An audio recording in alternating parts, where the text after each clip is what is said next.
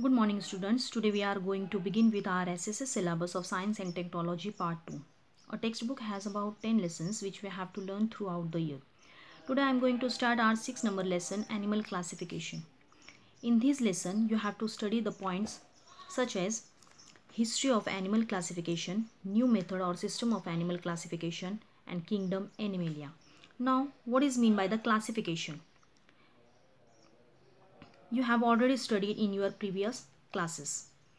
The proper definition of the animal classification is formation of group and subgroup of animals depending upon similarities and differences among animals is called as animal classification.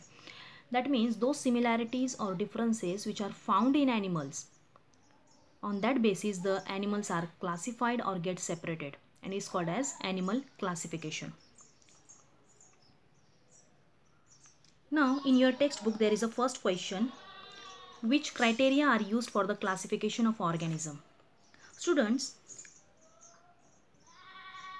without any criteria we cannot do any classification. If you are going to, for example, if you are going to classify or if you are going to divide the students of a class into two groups, then what are your choices? How will you classify them?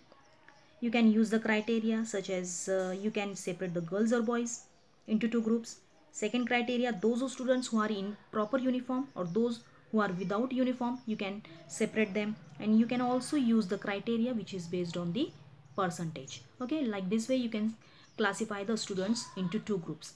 Similarly, we need the criteria for the classification of animals and plants. Animals are classified according to their basic characteristics such as presence or absence of nucleus, unicellular or multicellular body, mode of nutrition, okay, and presence or absence of cell wall. These basic characteristics are used for the classification of the animals. Now, see this flowchart. Here you can see that the living organisms are classified into prokaryotes and the eukaryotes. You all know that the prokaryote means the organism's body having the primitive type of nucleus pro means before and karyot means nucleus. Before nucleus that means organism's body having the nucleus but it is not properly developed. Okay? Membrane bound organelles are absent and in case of the eukaryotes membrane bound organelles are present and distinct nucleus true nucleus is present.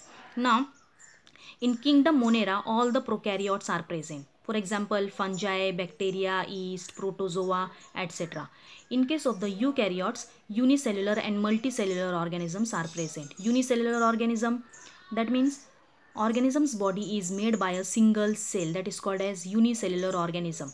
Kingdom protista having the unicellular organism. Now the multicellular organism classified into with cell wall without cell wall. Kingdom animalia having the organisms in which the cell cells are without cell wall and with cell wall classified into autotrophs and heterotrophs.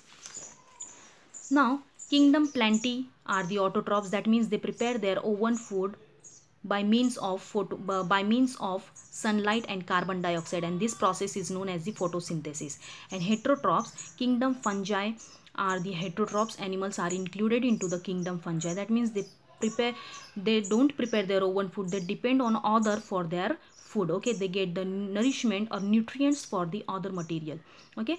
Now uh, this classification you have already studied in your earlier classes. Now in your textbook there is a second question how the plants are classified. Plants is also contains the basic characteristics such as the presence or absence of the organs or seeds and cotyledons and uh, whether the seeds are enclosed into the fruit or not these characteristics are used for the classification of the plants. Okay? Now students you all know that there is the there is a great variety of living organisms which are found surrounding to us. There is a great diversity. Diversity means the variety of living organism. Some animals are too small and some are too big. Some animals are terrestrial that means they live on land. Some animals fly in air air. Some crawl on land swim in water okay? These are the different types of the animals are found into the earth. According to the recent studies the estimated number of the animal species species means a group of animals or living organism consisting the similar individual okay? Now the estimated number of animal species on the earth is approximately 7 millions and it is impossible to study the each and every species and therefore there is a need of animal classification. Okay? Uh, with the help of the group and subgroup we can easily study the such vast variety of the animals. Now the next point is the history of animal classification. Now here you can see that the time to time the different scientists have tried to classify the animals. The first scientist aristotle. The first scientist aristotle classified greek philosopher. Aristotle was the first scientist who performed the animal classification. And the classification is proposed by him is known as the artificial method of classification. Okay? Those classification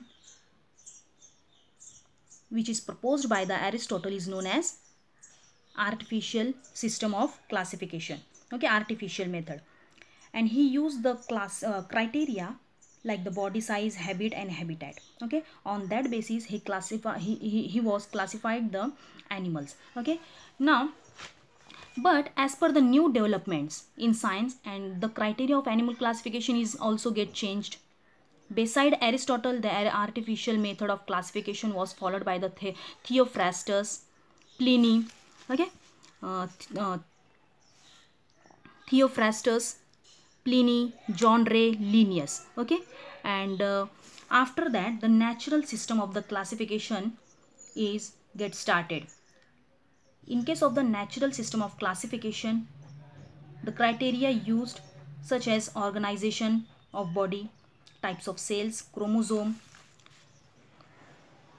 biochemical properties. This criteria is used for the natural system of the classification.